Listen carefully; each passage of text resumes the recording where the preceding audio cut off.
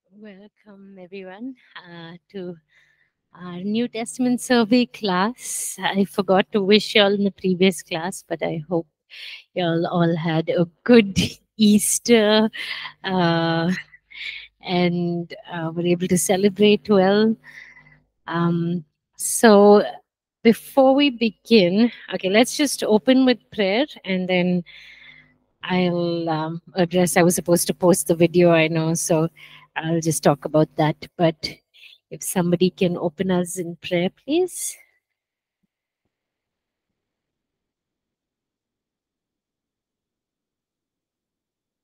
Let's pray. Heavenly Father, we once again thank you for this uh, time of study.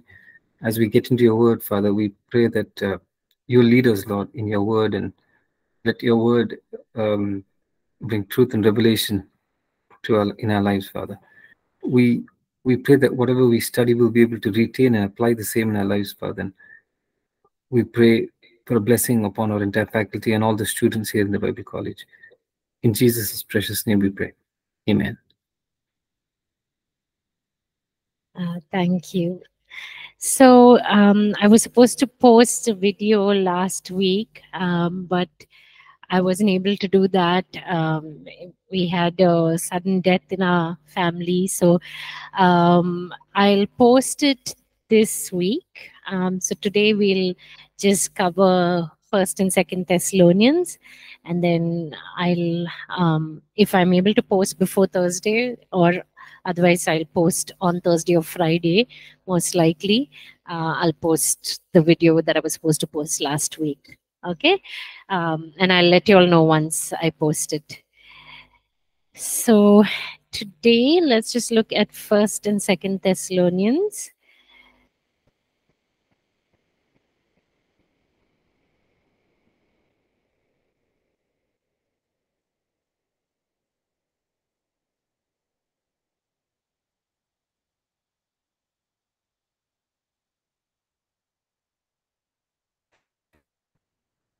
Okay, so um, I believe this is the first slide. Yeah. Okay, so we'll uh, first begin by just looking a little bit at the city of Thessalonica.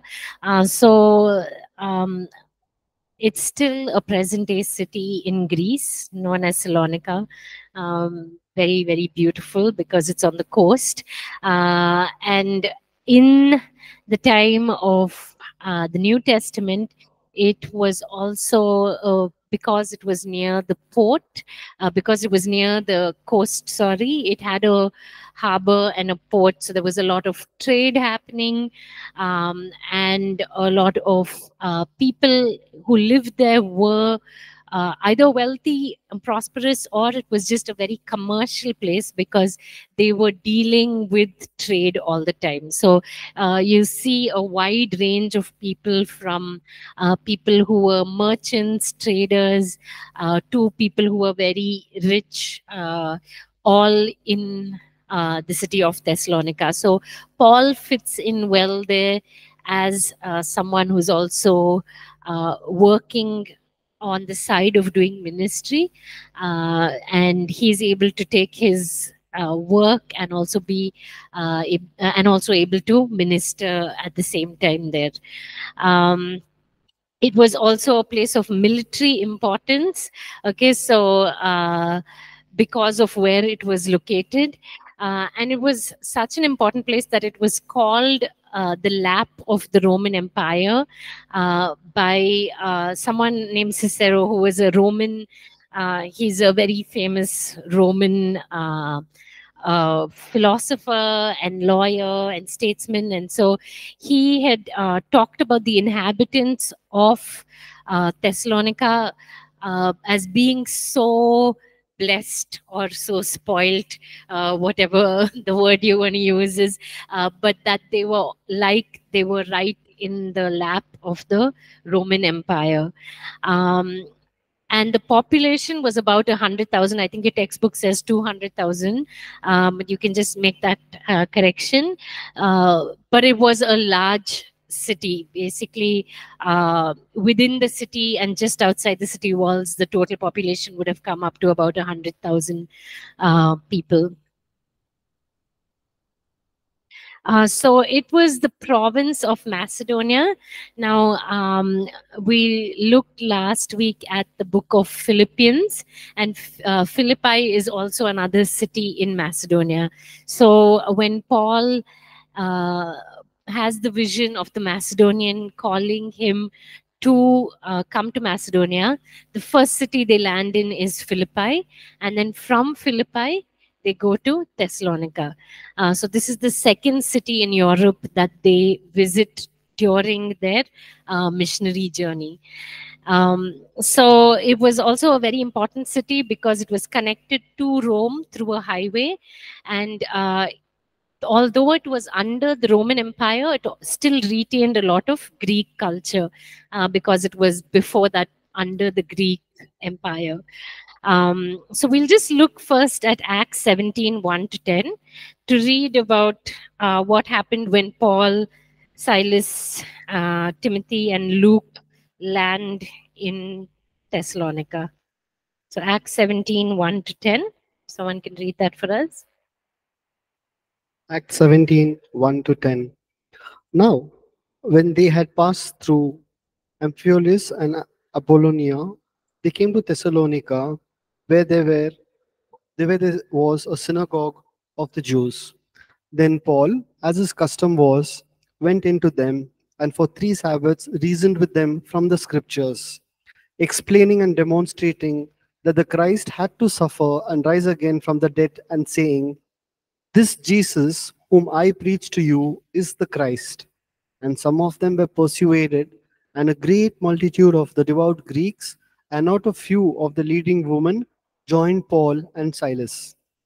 But the Jews who were not persuaded became becoming envious, took some of the evil men from the marketplace, and gathering a mob, set all the city in an uproar and attacked the house of Jason, and sought to bring them out of the people to the people. But when they did not find them, they dragged Jason and some brethren to the rulers of the city, crying out, These who have turned the world upside down have come here too. Jason has harbored them, and these are all acting contrary to the decrees of Caesar, saying, There is another king, Jesus. And they troubled the crowd and the rulers of the city when they heard these things. So, when they had taken security from Jason and the rest, they let them go. Then the brethren immediately sent Paulus, Paul and Silas away by night to Berea. When they arrived, they went into the synagogues of the Jews. Okay, so uh, this is the first uh, entry of the gospel into Thessalonica. So gives us a background uh, to what was the start of the church. Uh, some of the things we read was there were some Jews who responded to the gospel. There were many Greeks, right? A large number of Greeks and prominent women who came to faith uh, through the preaching. But the Jews uh, who were jealous or who didn't come to faith started to oppose the work that they were doing. And this is when Paul and Silas uh, leave Thessalonica and go to Berea. Um, so once they go to Berea, they begin to preach there. Uh, but at the same, uh, while they're preaching there, these uh, Jews follow them to Berea and start to cause trouble for them there as well. So um, we see here that uh, in Thessalonica, the Jews were very, very, uh, very um, passionate about whatever they believed and very quick to come against the work that Paul was doing. Uh, so when we read the book of First Thessalonians, we'll understand uh, how that aspect of the Jews being against the gospel applies to the church as it continues to grow. Okay, so we'll uh, go into the book. Um, so we know Paul is the author. We see that in uh, 1 1 and 2 18. Um, 1 1 says, Paul, Silas, and Timothy to the church of the Thessalonians in God the Father and the Lord Jesus Christ, uh, grace and peace to you. So, right there, we have both the author and the recipients who are the, the, the Thessalonians, the church of Thessalonica. Um, and we see here Paul adding if you remember last week uh, when we looked at uh, Philippians and Colossians, uh, we saw Paul adding Timothy in his letters. He said Paul and Timothy to the church.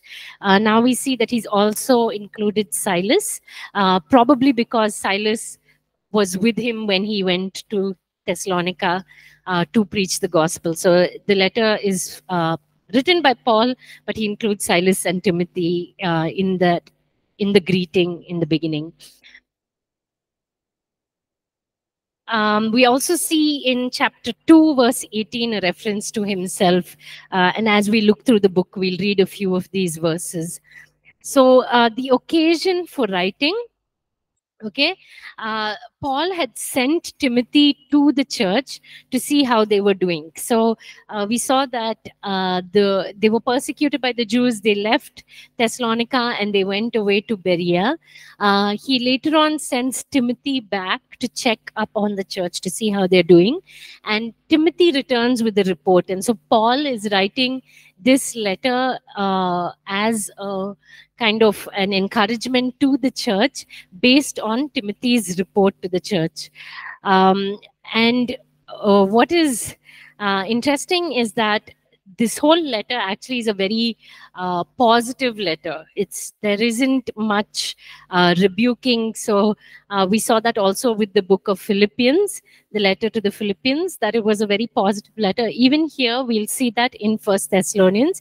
In Second Thessalonians, there's a little bit of correction, but it's still not uh, about. Uh, like how we see in first and second corinthians there's a lot of sin there's a lot of uh, culture that has come into the church, uh, the outside culture that has influenced the church. We don't see that in these books. Okay, so uh, some of the main things that he'll cover is um, the sorrow of the Thessalonians over departed saints and uh, some of the false accusations that had come against him. Um, the letter was written from Corinth. Uh, so while Paul was in Corinth, uh, he writes this letter around AD 51. So it's one of the earliest epistles that were written. Uh, and some of the unique features, uh, it talks a lot about the second coming of Christ. So uh, a lot of information about the rapture is included in First Thessalonians. Um, it also has no quotations from the old testament and it's also a very simple letter it has doesn't have a lot of theology like some of uh, paul's other epistles. Um, the theme of first thessalonians uh, christian life in relation to the second coming. So that is the main focus. We'll see both in first and second thessalonians a focus on the second coming of christ. Uh, why do you think that uh, paul is focusing on that considering what we read in acts 17 why do you think paul would be focusing on the second coming of christ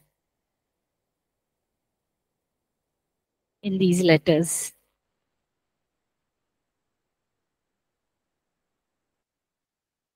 you get a clue from the key word that's written there as well.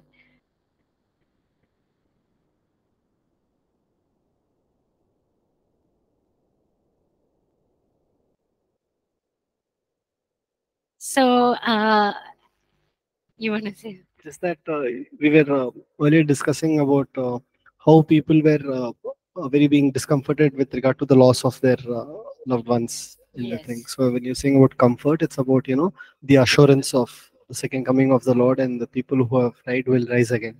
Yeah. So, uh, specifically to do with persecution. Uh, so we read in Acts 17 uh, that there was persecution that arose when the gospel was preached, and Paul and Silas had to leave because of that, right?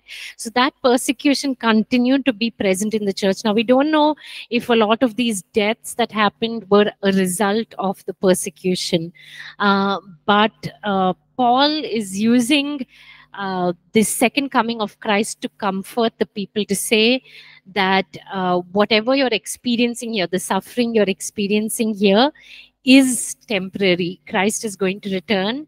And so you can continue steadfast in your faith now, knowing that Christ is coming back and he is going to rescue us uh, from all that we have suffered. Um, so we'll just read this. If someone can read First Thessalonians 1 9 and 10, that's the contains some of the main things that First Thessalonians talks about.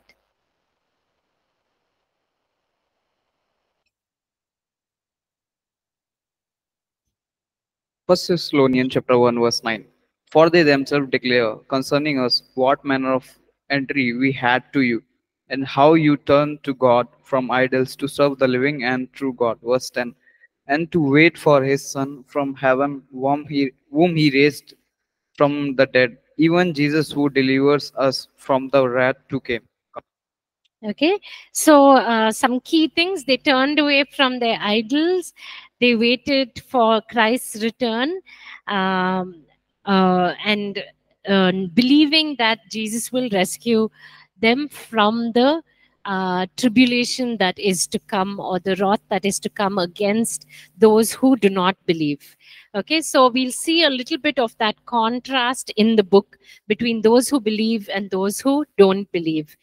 Um, first, could uh, so First Thessalonians, some of the uh, books we can compare it to. First Corinthians 15 uh, talks about how uh, living believers will be transformed at Christ's return, right? In the twinkle of an eye, our bodies will be transformed when Christ comes back. First Thessalonians, on the other hand, talks about how the dead will be raised uh, when Christ returns. So, uh, First Thessalonians focuses on those who died in Christ. Uh, Philippians and uh, Philemon, um, along with First Thessalonians, are very um, positive letters. So there's no uh, nothing that is um, rebuking, nothing that is controversial. It's all very uh, appreciative of the churches to which they're written. Um, Second Thessalonians and First Thessalonians. Uh, so First Thessalonians explains why those who died in Christ won't miss out on the rapture. And Second Thessalonians talks about why believers won't be in the tribulation. So the tribulation and rapture are two things that are covered in First and Second Thessalonians. So we'll just look at an outline. So all of these letters are quite small. So uh, there's just a little bit that we have to cover. Uh, it begins in chapter one with the usual greeting to the church. Then it starts to talk about the church itself, the church uh, at Thessalonica. Uh, talks about, he praises the church. Uh, he talks about the church as an example. If we can read uh, uh, chapter 1, verses 4 to 5.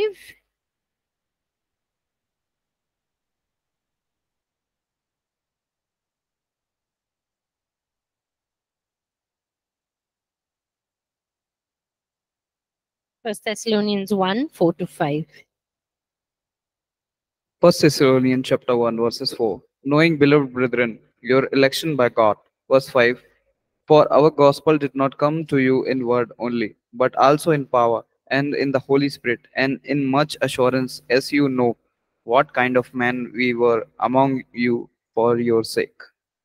Okay, so here it's talking about how when they preach the gospel, there was a deep conviction. The people who responded, like we read in Acts 17, uh, a large number of the God fearing Greeks came to faith.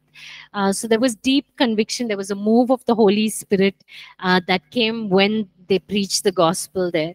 Uh, and the church became imitators of Paul. They saw Paul's life and they started to live the way Paul and Silas were living. Um, then 8 to 10 is where he talks about the church's uh, example of how they were living out their faith and how their faith itself had been uh, so powerful that other uh, cities and other churches in Macedonia had heard about their faith and had heard about this church. Um, in chapter 2, he talks about his relationship to the church. Um, so, first, he begins with his own uh, ministry. He talks about how his ministry was one that was done in honesty, in righteousness, uh, with a true uh, concern for them, like a father cares for the uh, for his children. So he uses both the language of father and mother, uh, being concerned as a parent for the church. Um, the second he talks about is how the church responded to him. Uh, the church accepted him even in the midst of their suffering. In, even in the midst of their persecution, they accepted and received him and Silas. Um, the third part, he talks about his concern for the church. So, uh, this is why Timothy is sent to check on how the church is doing. He wants to make sure that they have continued to remain in the faith because he knows of the persecution that they've been facing. Um, and he encourages them to continue to remain steadfast. And so that he ends with a prayer for the church here. Um, the next part uh, is titled The Problem of the Church. But if we read through uh, these chapters, we'll see that Paul is not really correcting them. He's only saying, I know you already know this, but I want you to grow in it more. Okay, so it's um, there isn't clear evidence that the church was in sin or practicing anything that was sinful. Rather, he's just encouraging them to continue to walk in purity, continue uh, to walk in the way that they are walking. So the things he addresses here are sexual purity, uh, social conduct, so loving one another, uh, working. So that is one thing we'll see repeated even in second thessalonians making sure they are working for a living that they're not uh, just remaining idle. And through their work to be witnesses to people outside the church. Um, then he talks about this is where we see uh, the teaching on um, the rapture. So maybe we can read that state of the Christian dead, uh, chapter 4, verses 13 to 18. If someone can read that for us.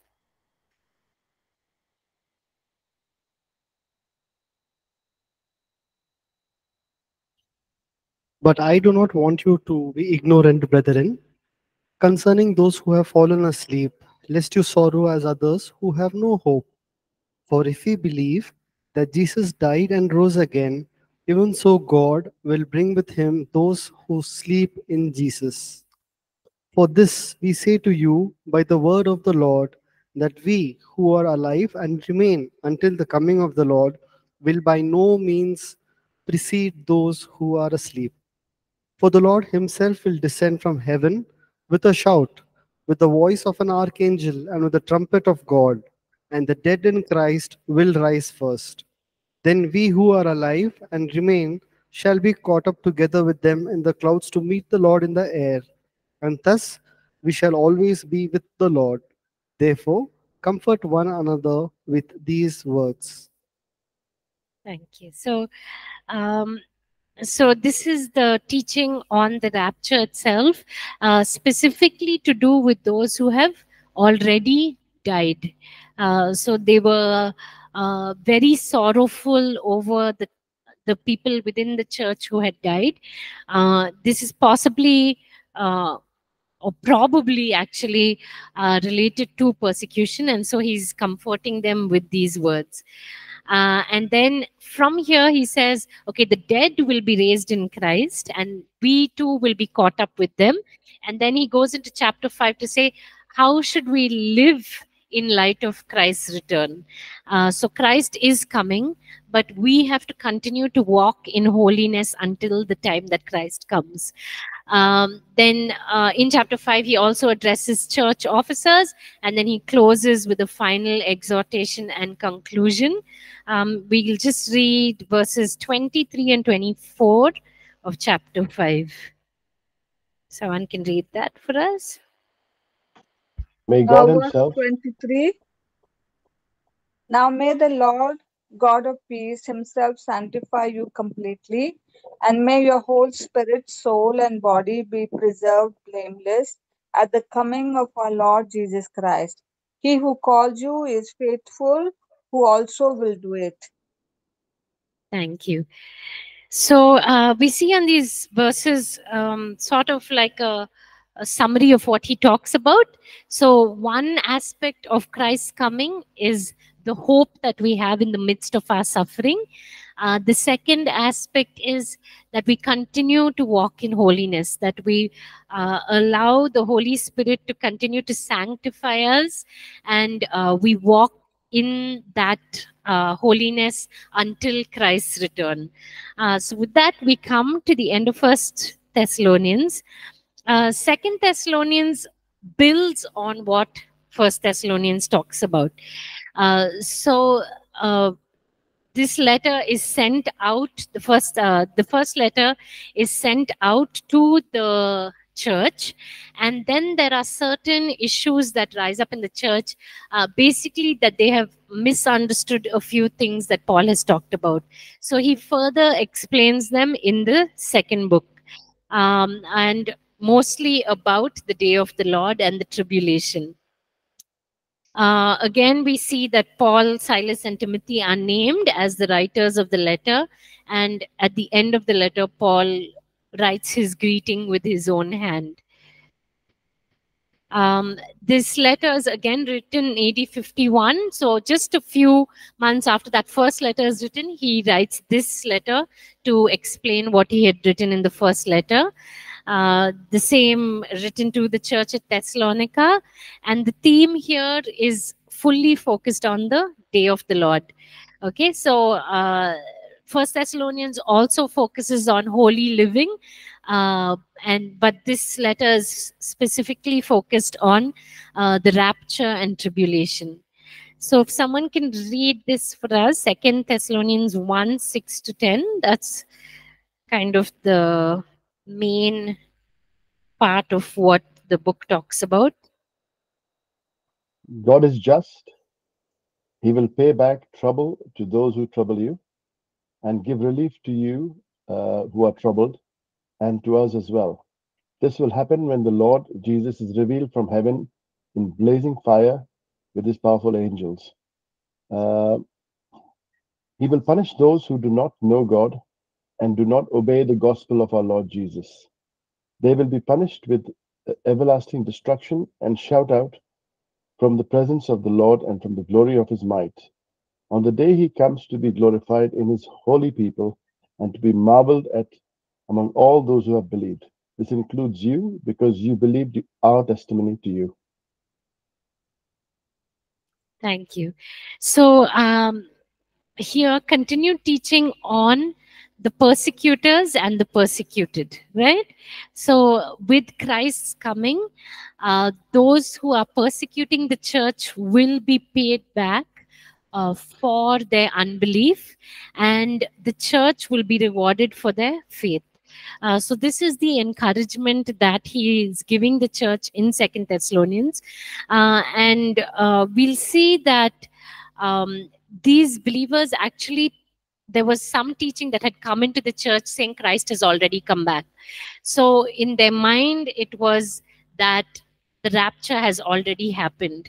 Uh, but Paul is writing here to tell them that uh, don't believe anyone who says anything like that. When Christ comes, we will all know. Uh, and here he describes some of the things that will happen before Christ's return, and he talks about the Antichrist coming. So, um, an outline of the letter. It begins with the with encouragement. So that's what we read. Uh, praise for the church, um, God's judgment over the wicked, and reward for the church. And then he prays for the church at the end of this chapter. Uh, in chapter two, we see uh, detailed about the Antichrist coming. Uh, so maybe we can read that chapter 2, verses 1 to 12.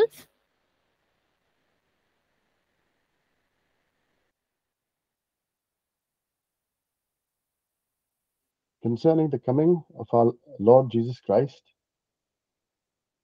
and our being gathered to him, we ask you, brothers and sisters, not to become easily unsettled or alarmed by the teaching allegedly from us, whether by a prophecy or by word of mouth or by letter asserting that the day of the Lord has already come. Do not let anyone deceive you in any way. For that day will not come until the rebellion occurs, and man of and the man of lawlessness is revealed, the man doomed to destruction. He will oppose and will exalt himself over everything that is called God or is worshipped, so that he sets himself up in God's temple, proclaiming himself to be God. Don't you remember that when I was with you, I used to tell you these things? And now you know uh, what, what is holding him back, so that he may be revealed at the proper time.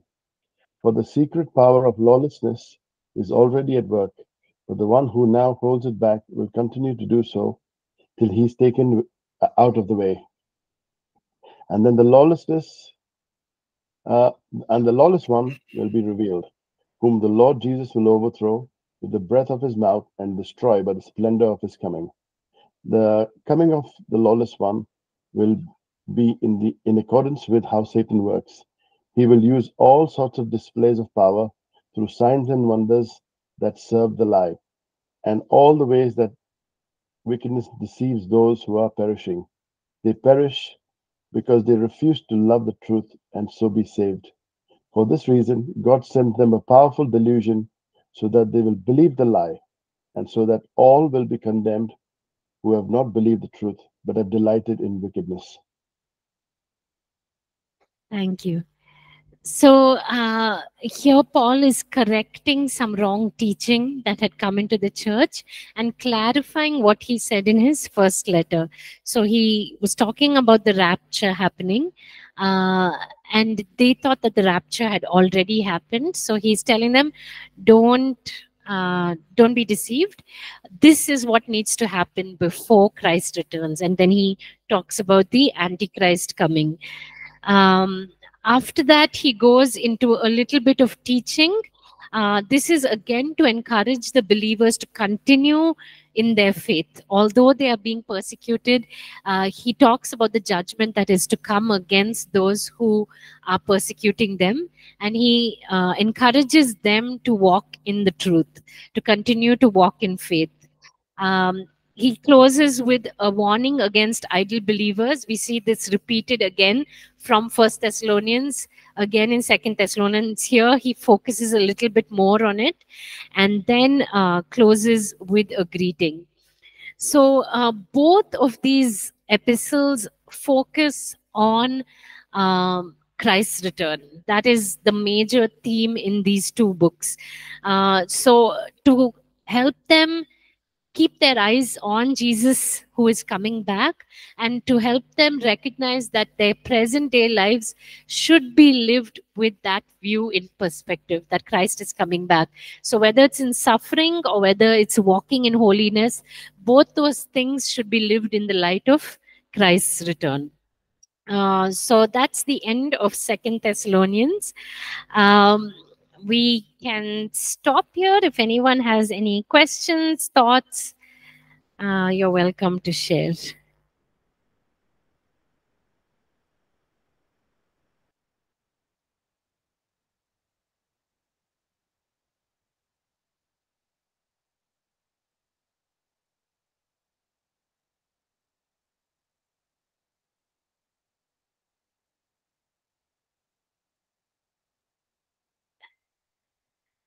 Uh, sure, Brother Warren, you can go ahead.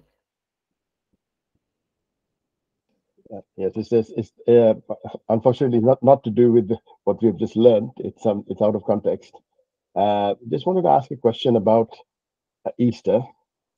I've heard, uh, uh, you know, as believers, a lot of people call it Resurrection Day, and the you know because of the pagan connotation to Easter.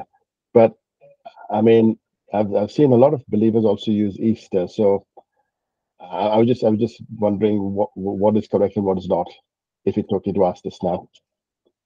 Okay, uh, let me just repeat your question. Uh, so uh, you've heard um, people referring to Easter as Resurrection Sunday, right?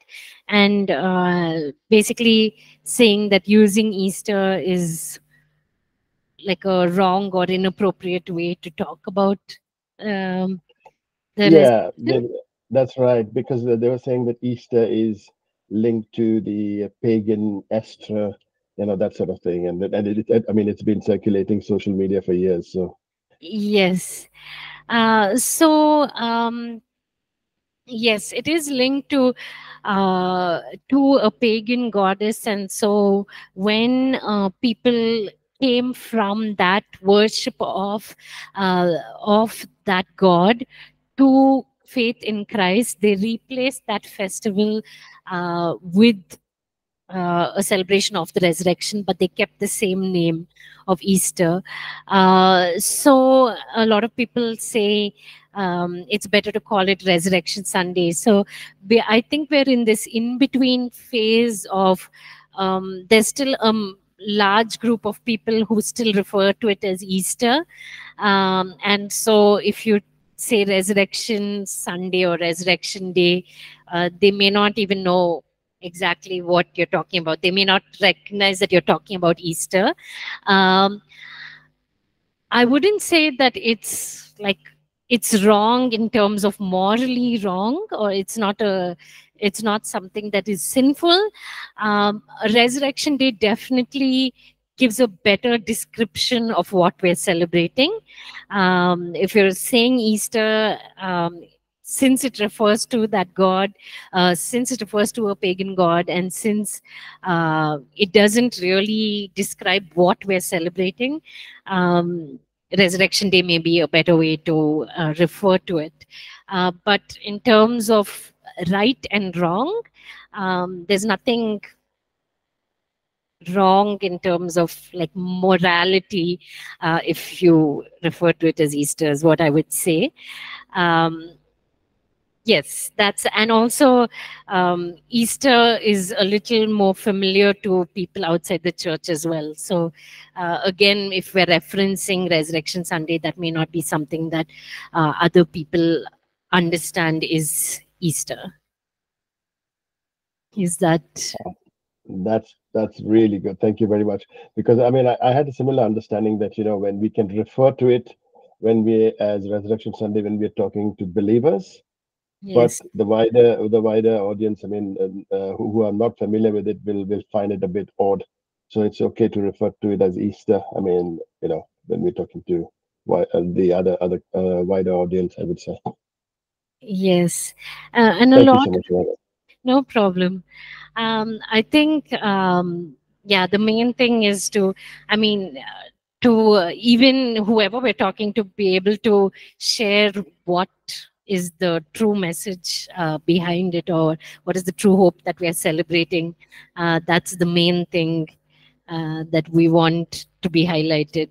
Uh, so the words that we use uh, may be different but the message that we're communicating in it uh, is important.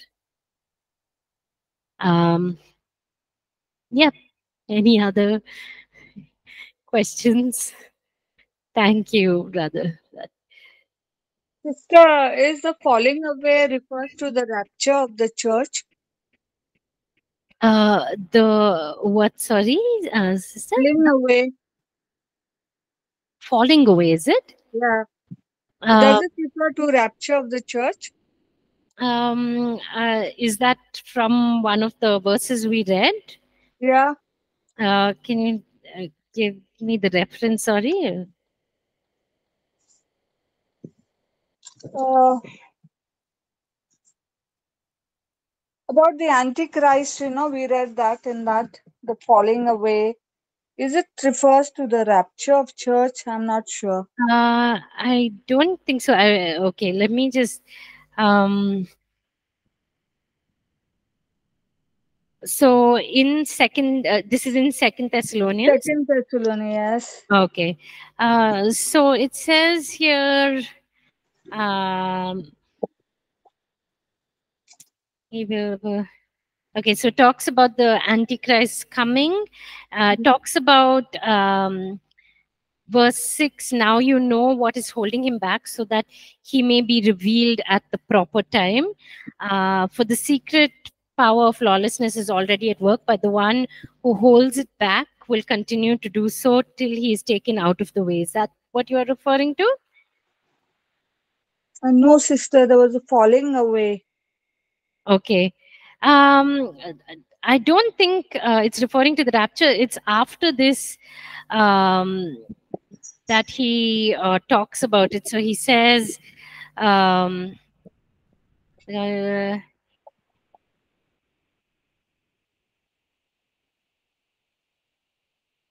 so it's talking about judgment on those who are wicked uh, after the lawless one is uh, revealed. Uh, and before that, it's saying, um, yeah, so it's basically saying that Christ has not returned. Before Christ returns, uh, the Antichrist must come. And this is how the Antichrist will come. And he talks about that and then talks about the judgment uh, that will follow uh, once the once he returns once the antichrist comes uh, christ will return and uh, there will be judgment on the wicked. Uh, so this uh, specifically is not talking about the rapture um, but verse 6 and 7 uh, one of the interpretations of that is that um, the church is the one that is holding back uh, the coming of the antichrist and when the church is raptured is when this judgment will happen uh, and so that is where it mentions the rapture It is, yeah, it is in the second uh, Thessalonians, second chapter.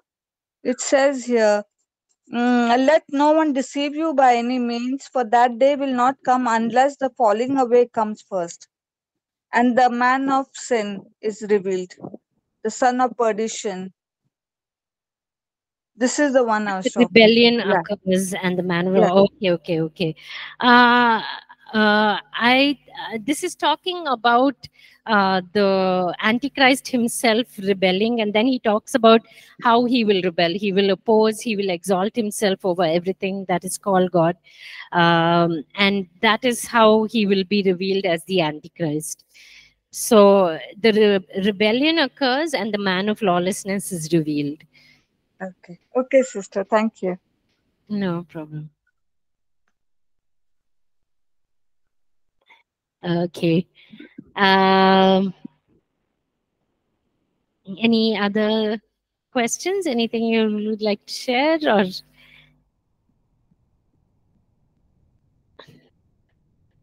Okay. Uh, in that case, we can close and I'll see you all on Thursday and I'll also let you know once the video, uh, once I post the video. Thank you. Thank you, sister.